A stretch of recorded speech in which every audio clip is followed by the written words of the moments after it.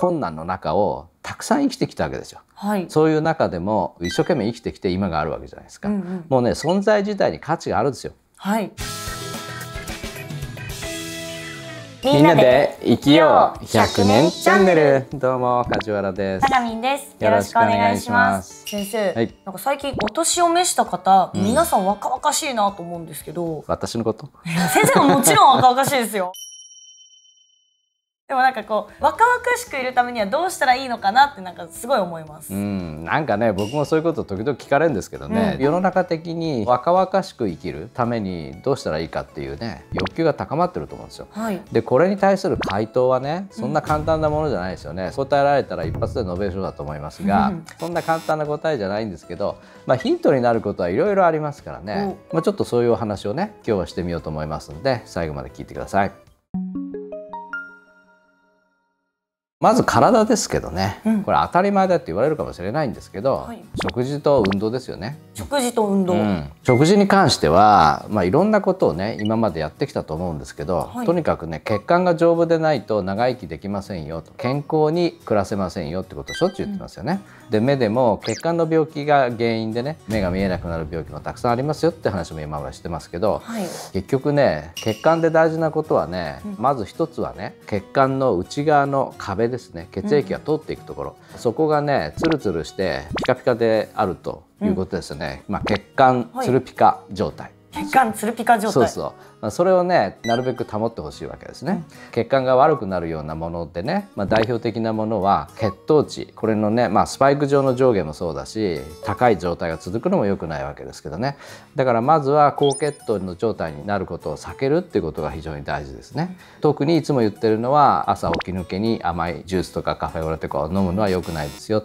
まず水を飲みましょうね。お茶を飲みましょう。コーヒーでもいいですよって話なんですね。お茶類とかコーヒー類にはポリフェノールも入ってますからから体の中のねいろんなところで起こる酸化反応炎症っていうのを抑えてくれる働きがありますからまあそういったものを少しでもね毎日とってればやっぱり変わってくると思うんですよ。まあ、あとはね食べ物としては高温で調理されたものっていうのはエイジズになりやすいんですよね、油で揚げたりとかオーブンで調理したりするとね170度とか250度とかそういう温度になってくるんですね。それ高い温度で調理されたものほどエイジズできやすいんですよね、うん。まあ、そういったものをなるべく避けることと体の中で起こってくる糖化反応を避けるっていうことですよね、それからいろんな酸化反応ですよね。でそれが病気につながる場合もあるし老化にももちろんつながるわけですねだから体の中で起こるそういうものをなるべく減らすためにはですよ抗酸化作用になる食べ物をなるべく摂るということですよね、はい。ビタミンで言えば C とか E とか、うん。そういったものを中心にですね取ってもらうとかそれからオメガ3系の不飽和脂肪酸を取ってもらうね。魚の油に一番多いわけですけど DHA とか EPA とか、まあ、そういったものですよね。それから食用の油で言うとアマニ油とかエゴマ油とかそういったものにもオメガ3系のもの入ってますね、まあ、ちなみに私の好きなごま油はですねオメガ6っつってねオメガ6。うん、やっぱり不飽和脂肪酸なんですよ。うんでねその3と6っていうのは体のね中では合成できないタイプなんですね。でオメガ9っていうやつはですねまあオリーブオイルなんかはそうなんですけどこれは合成できるんですね。えー、合成できるんですうんか。それからね、まあ、私たちが作ってるねサプリメントなんですけどもウィンビジョンプレミアムっていうんですけど、まあ、それにもねチアニジン3ガラクトシートっていうね、まあ、非常に抗酸化作用の強いアントシアニンが入ってますでしかも神経保護作用があるっていうことなんでこれは皆さんにお勧めしてるんですけどね、まあ、そういったポリフェノールとかとにかく酸化を防ぐものをたくさん取ってほしいっていうことですね。はい。うん、血管を若々しく保つためには食事が大事なんですね。うん、食事は本当大事ですよね。他に気をつけなきゃいけないことってあるんですか？うん、まあ、もう一つ大事なのはやっぱ運動ですよね。運動ですか？うん、結局ねいわゆる有酸素運動って言ってね息が弾むような例えばランニングだとかテニスとかね水泳だとかありますよねああいうものを有酸素運動っていうわけですけど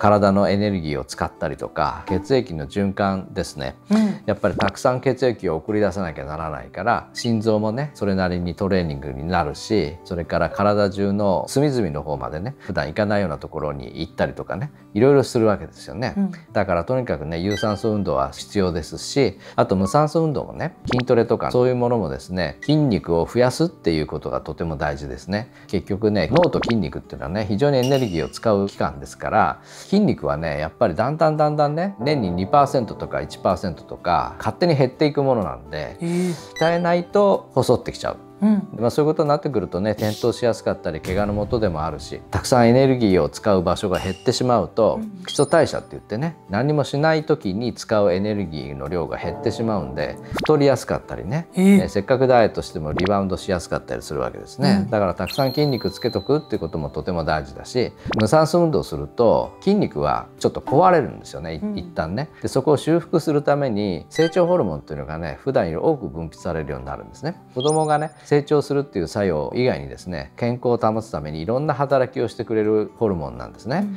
成長ホルモンが少なくなると身長が伸びにくいっていうのがあるじゃないですか、うん、だからその成長のためのホルモンって思われがちなんですけどね。名前の通りではなくてね他の作用もたくさんあるわけです、うん、ですからその成長ホルモンを出してもらうとね筋肉も増えるし、いいことたくさんあるわけですよね。であとはねまあ体だけじゃなくてね、はい、メンタルも大事ですよね。ここでメンタルですか？年を取って元気な人ってね、はい、活動的じゃないですか。確かに皆さん若々しくこう、ね、活発になんか動いてて明るいですよね、うん、だからねメンタルが落ち込むっていうのはねまあいろんな理由があるんですけど老人性のうつっていうんですけどねまあそれは名前はよくないですよね、はい、加齢性のうつってですね。年を取る時にうつ状態になるんですよえー、女性の場合は必ず強い弱いはあるけど更年期障害って一回来るんですよね、うん、だからそれは病気じゃないんですよ、まあ、ちょっとした体の変化状態なんですけど男性の場合はねはい、これ全員が来るわけではないから、うん、男性の更年期障害っていうのはこれは病気として考えられてるんですね。うん、でねいろんな原因はあるんですけどね。例えば特殊な場合としてはね脳下垂体っていうところにね腫瘍ができたりすると、はい、ホルモンのバランスが崩れてね更年期障害を起こすこともあるし、はい、えー、幸せホルモンと呼ばれてるようなねホルモンって何種類かあるんですけどね、はい、そういうところがうまくいかなくなると活動が鈍ったりとかね、するわけですよ。脳の中ではねいろんな神経伝達物質っていうのがあちこちでね違う使われ方をするんですね。でその中でもね、まあ、特に最近有名になってるのはセロトニンですよね。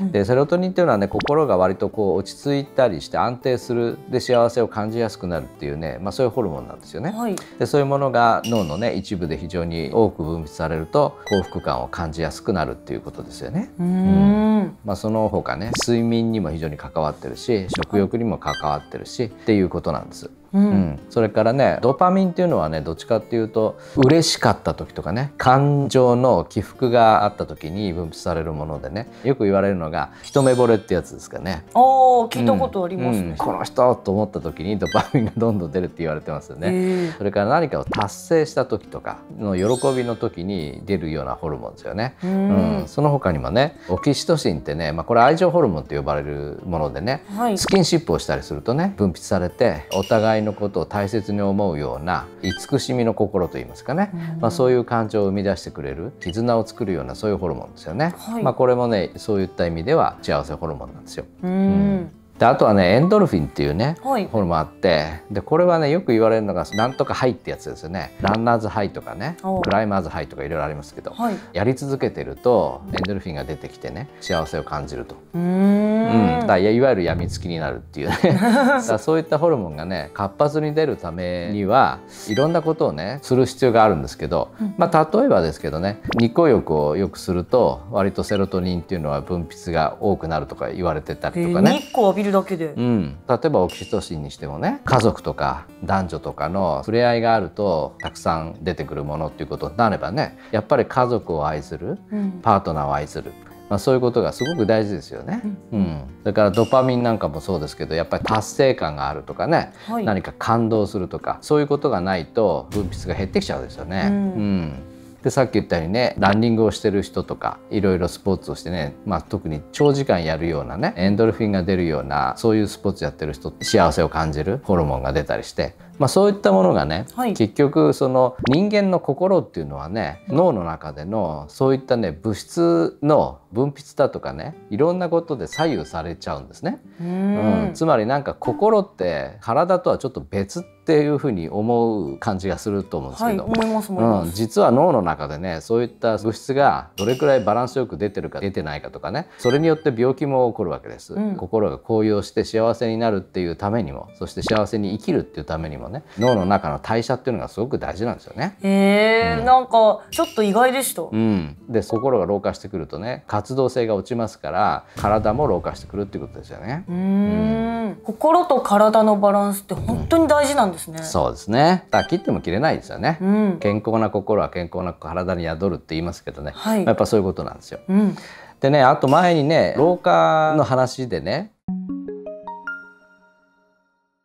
慶応大学の研究とかでもあったんですけど、はい。若い人と交わるっていうのが非常に大事なんですね。若い人と交わるですか？うん、だ僕なんかタガミンと交わってますから、はいそれからうちのスタッフと交わってるんですからね、はいまあそういう点ではある程度恵まれてるのかもしれませんけどね、うんうんやはり年齢を重ねると同級生とかだんだん減ってくるわけですよね。うんそうするとね交流が少なくなってくるでしょ？はい。喋る量も少なくなるし、脳の活動が落ちちゃうんですよね、うんん。だから何かの機会を見つけて若い人と交わるっていうのはとても大事なんですよね。うーん。ちょっとびっくりです。若い人と一緒にいるっていうことがそんなに大事なんだ。うん、大事ですね。それからねその時もお話したんですけどね、はい。誠実な人ほどね長生きするんですね。誠実な人ほど長生きなんですか？そう。そうだからね性格も関係してるってことなんですよこれ。長生きとね老化防止っていうのは必ずしも同じことを指してるわけではないんですけど、はい。性格的にね誠実な人っていうのは長生きする確率がすごく高いんですよ。ええ人の言うことをよく聞くっていうのも誠実なんですよね。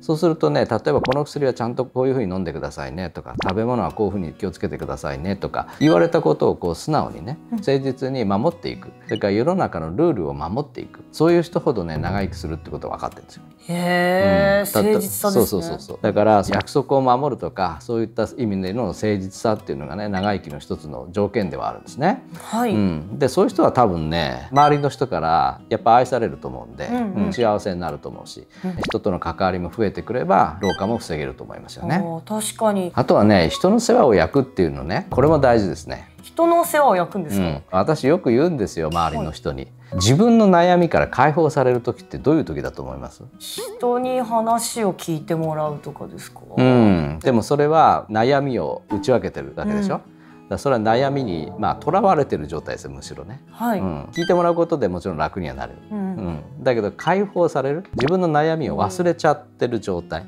はい。それはね人の悩みを解決しようとしてる時なんですよえ？人の悩みを解決しようと一生懸命になってる時は、うんうん自分の悩みはどっか行っちゃって。